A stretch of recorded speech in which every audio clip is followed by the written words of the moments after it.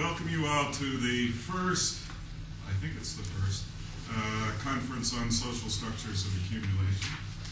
Uh, we're in the Cairnes Graduate School of Business and Public Policy, uh, which is affiliated, uh, or is the graduate operation of our Faculty of Commerce here at the National University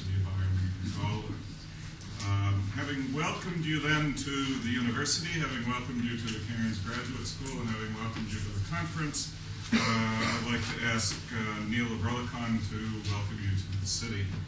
Uh, Niall is the first uh, Green Mayor uh, of Galway. Uh,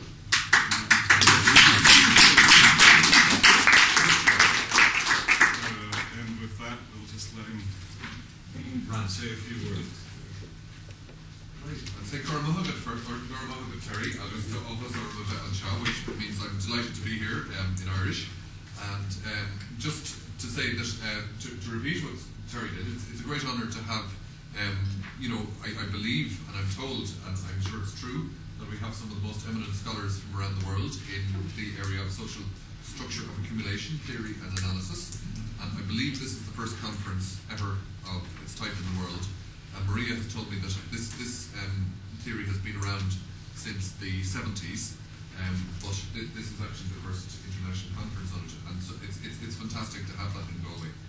Um, I, I'd like to pay tribute. Ter- Terry has been a, a good friend of mine for a long time, and I hope he doesn't mind me saying that. But um, Terry, Ter- Terry has, um, you know, I, I, I've had many um, interesting discussions and arguments with Terry on, on various uh, facets of social and uh, environmental economics and, and many other sorts of economics as well.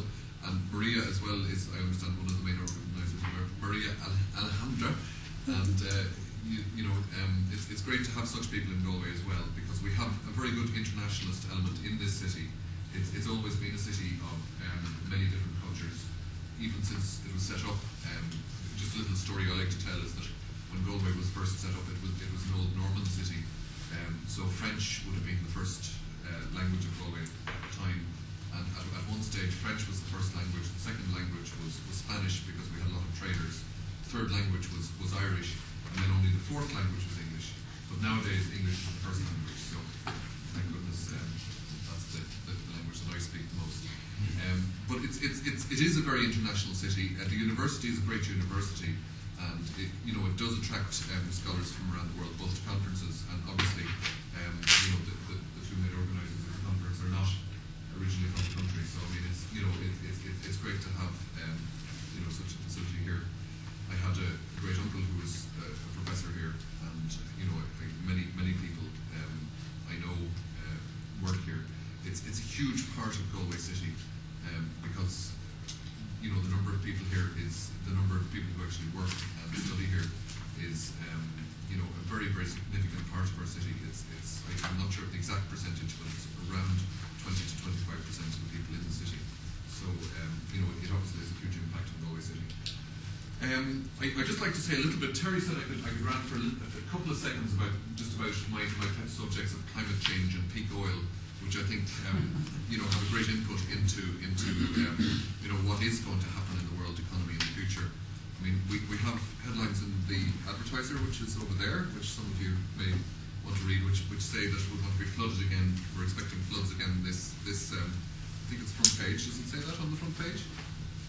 The, the bottom Oh, article. no, it's flooding time. Yeah. Oh no, it's flooding time again. So, you know, the Spanish Arch, which is in Galway City, it it, it, it has um, you know a low-lying quay which has been there for many many years, and you know regularly now um, the floodwaters come up above that.